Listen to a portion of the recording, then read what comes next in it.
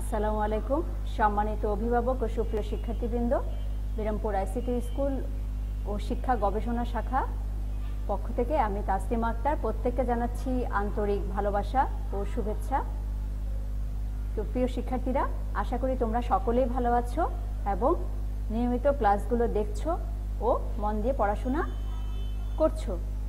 August মাসে দশ তারিখে তোমাদের অর্ধবার্ষিক পরীক্ষা শুরু হবে, তাই তোমরা মন দিয়ে নিয়মিত পড়াশোনা করবে। আজ আমি তোমাদের সামনে সপ্তম শ্রেণির কবিতা নিয়ে আলোচনা করব। কবিতা হচ্ছে আমার বাড়ি। আমার বাড়ি কবিতাটি লিখেছেন জসিম উদ্দিন আমার বাড়ি কবিতাটি লিখেছেন জসিম উদ্দিন দেখো জসিম উদ্দিনকে ওনার হচ্ছে জন্ম উনিশশো তিন সালের পহেলা জানুয়ারি ফরিদপুর জেলার তাম্বুলখানা গ্রামে উনি জন্মগ্রহণ করেন। ওনার জন্ম উনিশশো সালের পহেলা জানুয়ারি ফরিদপুর জেলার তাম্বুলখানা গ্রামে।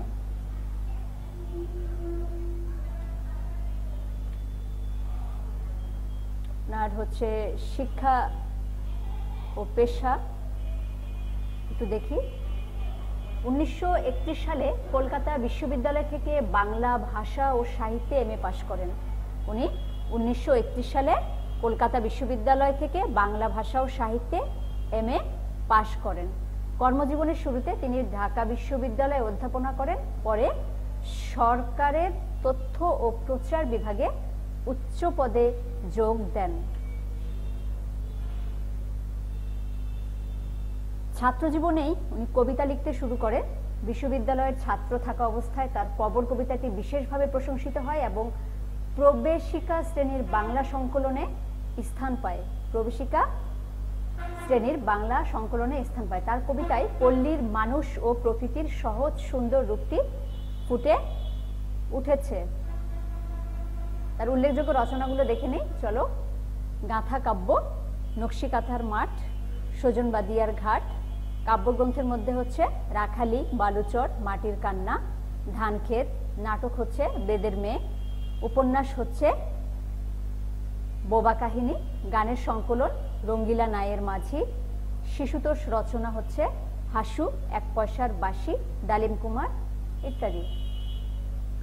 উনি বিশ্বভারতী বিশ্ববিদ্যালয় থেকে ডিলিট ডিগ্রি লাভ করেন এবং উনিশশো ছিয়াত্তর সালে বাংলাদেশ সরকারের একুশে পদক লাভ করেন। বাংলাদেশ সরকারের কাছ থেকে উনি একুশে পদক লাভ করেন। ওনাকে পল্লীকবিও বলা হয়। ওনার হচ্ছে উনিশশো সালের তেরোই মার্চ ঢাকায় মৃত্যুবরণ করেন। এখন আমরা চলে যাব আমার বাড়ি কবিতাটি শব্দের অর্থ ও টিকায়। চলো দেখে নেই। ভ্রমর ভ্রমর হচ্ছে মৌমাছি। এখানে হচ্ছে ভ্রমরের কথ্যরূপ ভ্রমর। ভ্রমরের কথ্যরূপ ভ্রমর। কবিতাটি কোনো বন্ধু বা প্রিয়জনকে ভ্রমর বলে সম্বোধন করে নিজের বাড়িতে আসার আমন্ত্রণ জানানো হয়েছে। কবিতাটি কোনো বন্ধু বা প্রিয়জনকে ভ্রমর বলে সম্বোধন করে নিজের বাড়িতে আসার আমন্ত্রণ জানানো হয়েছে। শালি ধান এক প্রকার ধান যা হেমন্তকালে উৎপন্ন হয়। বিন্নি ধান বিন্নি ধান হচ্ছে বাংলাদেশের আদিজাতের ধানগুলোর একটি। কবরী কলা, স্বাদের জন্য বিখ্যাত এক প্রকার কলা। গামছা বাঁধা দই। অধিক ঘনত্বের ফলে যে দই গামছায় রাখলেও রস গড়িয়ে পড়ে না, সেটাকে হচ্ছে গামছা বাঁধা দই বলা হয়। শুয়ো আঁচল পাতি মানে আঁচল পেতে শুয়ে থাকা। গাই দহনের শব্দ, গাভীর দুধ দহনের শব্দ, কাজলা দিঘি দিঘি। মানে হচ্ছে কাজলের মতো কালো জলের দিঘি। চলো এখন আমরা একটু কবিতাটি দেখে নিই। কবিতা হচ্ছে, আমার বাড়ি কবিতাটি লিখেছেন জসিম উদ্দিন আমার বাড়ি যাইও ভ্রমর, বসতে দেব পিড়ে জলপান যে করতে দিব শালি ধানের চিড়ে। মানে হচ্ছে, আমার বাড়িতে ভ্রমর বলতে এখানে হচ্ছে কোনো প্রিয়জন বা বন্ধু বোঝানো হয়েছে, পিড়িতে বসতে দেবে, জল পান করতে দিবে কি দিয়ে? শালি ধানের চিড়ে দিয়ে শালি ধানের চিড়ে দিয়ে জল পান করতে দিবে। শালি ধানের চিড়ে দেব বিন্নি ধানের খই মানে বিন্নি ধানের খই দিবে শালি ধানের চিড়ে দিবে। বাড়ির গাছের কবরি কলা, গামছা বাঁধা দই মানে বাড়ির গাছে যে কবরি কলা মানে কবরি কলা হচ্ছে একটি বিখ্যাত কলা, স্বাদের কলা। আর গামছা বাঁধা বাঁধা দই। আম কাঁঠালের বনের ধারে শুয়া আঁচল পাতি, আঁচল পেতে শুয়ে থাকবে। গাছের শাখা দুলিয়ে বাতাস করব সারা রাতি। মানে গাছের শাখা দিয়ে সারা রাত বাতাস করবে। চাঁদ মুখতোর চাঁদের চুমো, মাখিয়ে দেব সুখে। তারা ফুলের মালা গাঁথি, জড়িয়ে দেব বুকে। মানে হচ্ছে তারা ফুলের মালা গেঁথে বুকে জড়িয়ে দিবে। চাঁদ মুখে তোর মানে হচ্ছে চাঁদ মুখ বলতে সুন্দর মুখ, প্রিয় মুখ। চাঁদ মুখে তোর চাঁদের চুমো, মাখিয়ে দেব সুখে তারা ফুলের মালা গাঁথি জড়িয়ে দেব বুকে। গাই দোহনের শব্দ শুনি জেগো সকালবেলা মানে গাই দোহন হচ্ছে গাভী দোহনের শব্দ শুনে সকালবেলা জেগে উঠবে। সারাটা দিন তোমায় লয়ে করব আমি খেলা মানে সারাদিন তোমায় নিয়ে আমি খেলা করব। আমার বাড়ির ডালিম গাছে ডালিম ফুলের হাসি, কাজলা দিঘির কাজল জলে হাঁসগুলি যায় ভাসি। মানে আমার বাড়িতে ডালিম গাছে ডালিম ফুল আছে সেই ফুলের হাসির কথা বলছে। আর কাজলা দিঘির কালো জলে হাঁসগুলো ভেসে যায়। আমার বাড়ির যাইও ভ্রমর এই বরাবর পথ। মানে হচ্ছে কোন পথে যাবে সেটা বোঝানো হচ্ছে। মৌরি ফুলের গন্ধ সুখে শুকে থামিও তবরথ। মানে মৌরি ফুল আছে তার বাড়ির সামনে। সে মৌরি ফুলের গন্ধ তা- তাকে হচ্ছে এই থামিও তবরথ মানে হচ্ছে তার যাত্রা থামাতে বলেছে। এখন আমরা, চলো চলে যাই যে কবিতাটি পাঠের উদ্দেশ্য কি?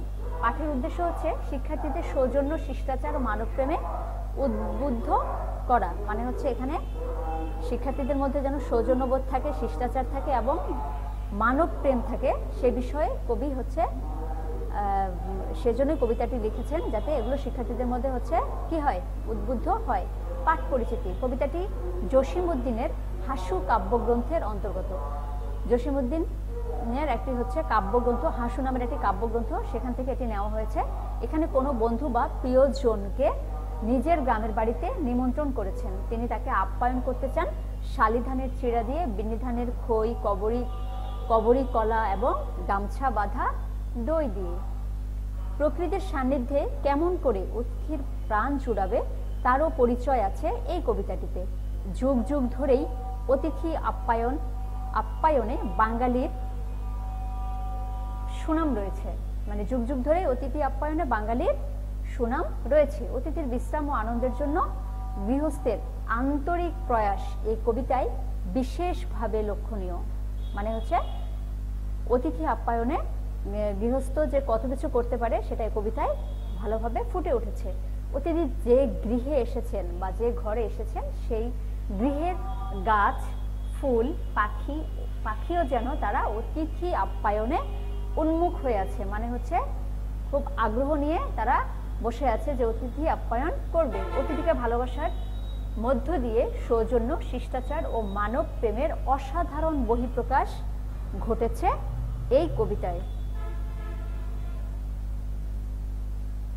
কবিতাটি এখন হচ্ছে আমরা জ্ঞানমূলক প্রশ্নে চলে যাব। এতক্ষণ কবিতাটি পড়ে দেখলাম শোনালাম তোমাদের। কবিতাটি পাঠ পরিচিতি শব্দার্থ, এগুলো হচ্ছে ভালো করে বুঝলে তোমরা এই প্রশ্নের উত্তরগুলো খুব সহজেই দিতে পারবে। দেখো, এক নম্বর প্রশ্ন, আমার বাড়ি কবিতায় কাজ- কাজলা দিঘির কাজল জলে কি ভাসে? কাজলা দিঘির কাজল জলে কি ভাসে? দুই, কবিতার কবিতার অতিথিকে কোন ধানের চিড়ে দিয়ে আপ্যায়ন করতে চান? কবিতার অতিথিকে কোন ধানের চিড়ে দিয়ে আপ্যায়ন করতে চান? তিন, কবিতার বন্ধুকে সারা রাত কীভাবে বাতাস করবেন? কবিতার বন্ধুকে সারা রাত কীভাবে বাতাস করবেন? চার, কবি কোন ফুলের মালা গেঁথে বুকে জড়িয়ে দিতে চেয়েছেন?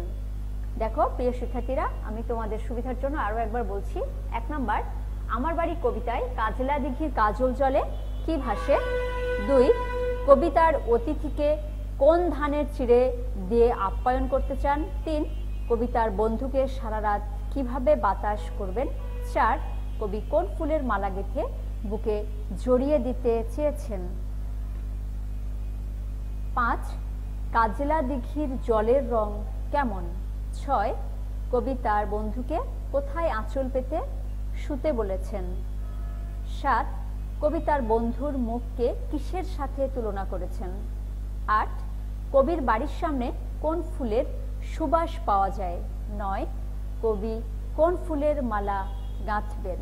আমি আবার পড়ে শোনাচ্ছি, দেখো। পাঁচ, কাজলা দিঘির কাজর কাজলা দিঘির জলের রং কেমন? কাজলা দিঘির জলের রং কেমন? ছয়, কবিতার বন্ধুকে কোথায় আঁচল পেতে শুতে বলেছেন। কবি তার বন্ধুকে কোথায় আঁচল পেতে শুতে বলেছেন।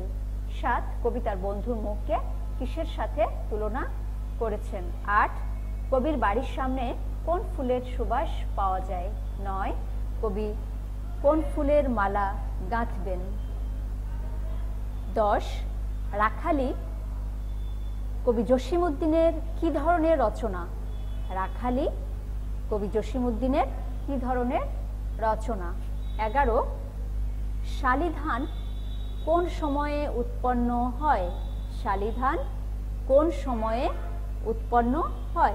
বারো, ডালিম কুমার জসিমুদ্দিনের কোন ধরনের রচনা? ডালিম কুমার জসিমুদ্দিনের কোন ধরনের রচনা? তেরো, কবি জসিমুদ্দিন কোথায় মৃত্যুবরণ করেন? কবি জসিমুদ্দিন কোথায় মৃত্যুবরণ করেন? চোদ্দ কবি জসিমুদ্দিন কত খ্রিস্টাব্দে জন্মগ্রহণ করেন? তাহলে আমি আরও একবার পড়ে শোনাচ্ছি, দেখো, দশ, রাখালি, কবি জসিমুদ্দিনের কি ধরনের রচনা? এগারো, শালিধান কোন সময় উৎপন্ন হয়? বারো, ডালিম কুমার জসিমুদ্দিনের কোন ধরনের রচনা? তেরো, কবি জসিমুদ্দিন কোথায় মৃত্যুবরণ করেন? চোদ্দ, কবি জসিমুদ্দিন কত খ্রিস্টাব্দে জন্মগ্রহণ করেন? এখন চলো আমরা চলে যাচ্ছি অনুধাবনমূলক প্রশ্নে। এক, আমার বাড়ি যাইও ভ্রমর। উক্তিটি বুঝিয়ে লেখো। আমার বাড়ি যাইও ভ্রমর। উক্তিটি তোমাদেরকে বুঝিয়ে লিখতে হবে। দুই থেকে চার লাইনের মধ্যে তোমাদের এটি লিখতে হবে। দুই, আমার বাড়ি কবিতায় কবি বন্ধুকে আমন্ত্রণ জানিয়েছেন কেন? আমার বাড়ি কবিতায় কবি বন্ধুকে আমন্ত্রণ জানিয়েছেন কেন? তিন, আমার বাড়ি কবিতায় কবি কি কি খাবার দিয়ে অতিথিকে আপ্যায়ন করতে চেয়েছেন? আমার বাড়ি কবিতায় কবি কি কি খাবার দিয়ে অতিথিকে আপ্যায়ন করতে চেয়েছেন? চার, গামছা বাঁধা দই বলতে কি বোঝানো হয়েছে? গামছা বাঁধা দই বলতে কি বোঝানো হয়েছে? পাঁচ, আমার বাড়ি কবিতায় প্রকৃতির সান্নিধ্যে কীভাবে অতিথির প্রাণ জোড়াবে? আমার বাড়ি কবিতায়, প্রকৃতির সান্নিধ্যে কীভাবে অতিথির প্রাণ জুড়াবে? ছয়, কবি তার বন্ধুকে মৌরি ফুলের গন্ধ শুকে থামতে বলেছেন কেন? ব্যাখ্যা করো। আমি আরেকবার পড়ে শোনাচ্ছি, দেখো। গামছা বাঁধা দই বলতে কি বোঝানো হয়েছে? পাঁচ, আমার বাড়ি কবিতায় প্রকৃতির সান্নিধ্যে কীভাবে অতিথির প্রাণ জুড়াবে? ছয় কবিতার বন্ধুকে মৌরি ফুলের গন্ধ শুকে থামতে বলেছেন, কেন? ব্যাখ্যা করো। সাত, থামিও তব রথ দ্বারা কবিতায় কি বোঝানো হয়েছে? থামিও তব রথ দ্বারা কি, কবিতায় কি বোঝানো হয়েছে? আট, সারাটা দিন তোমায় লয়ে করব আমি খেলা এই লাইনটিতে কি বোঝানো হয়েছে? সারাটা দিন তোমায় লয়ে করব আমি খেলা এই লাইনটিতে কি বোঝানো হয়েছে? নয়, কবিতায় অতিথিকে আমন্ত্রণ জানানোর মধ্য দিয়ে কবিতায় কিসের বহিঃপ্রকাশ ঘটেছে? নয় নম্বর হচ্ছে, কবিতায় অতিথিকে আমন্ত্রণ জানানোর মধ্য দিয়ে কবিতায় কিসের বহিঃপ্রকাশ ঘটেছে? তাহলে আমি তোমাদের সুবিধার জন্য আরেকবার পড়ে শোনাচ্ছি, দেখো। থামিও তবরথ দ্বারা কবিতায় কি বোঝানো হয়েছে? আর সারাটা দিন তোমায় লয়ে করব আমি খেলা, এই লাইনটিতে কি বোঝানো হয়েছে? নয় কবিতায় অতিথিকে আমন্ত্রণ জানানোর মধ্য দিয়ে কবিতায় কিসের বহিঃপ্রকাশ ঘটেছে? তাহলে প্রিয় শিক্ষার্থীরা, তোমরা হচ্ছে পরীক্ষার জন্য প্রস্তুতি নাও। অর্ধবার্ষিক পরীক্ষা দশ তারিখে শুরু হবে। তোমরা নিয়মিত ক্লাসগুলো যদি দেখো, তাহলে তোমাদের জন্য পরীক্ষা দিতে সুবিধা হবে, তোমাদের পড়াশোনা করতে সুবিধা হবে, এবং তোমাদের সর্বশেষ যে কথাটি বলছি সেটি হচ্ছে, তোমরা বাসায় থাকবে। বাসায় থাকলেই তোমরা নিরাপদে থাকতে পারবে, সুস্থ থাকতে পারবে। তাহলে আজ এ পর্যন্তই। প্রত্যেকে ভালো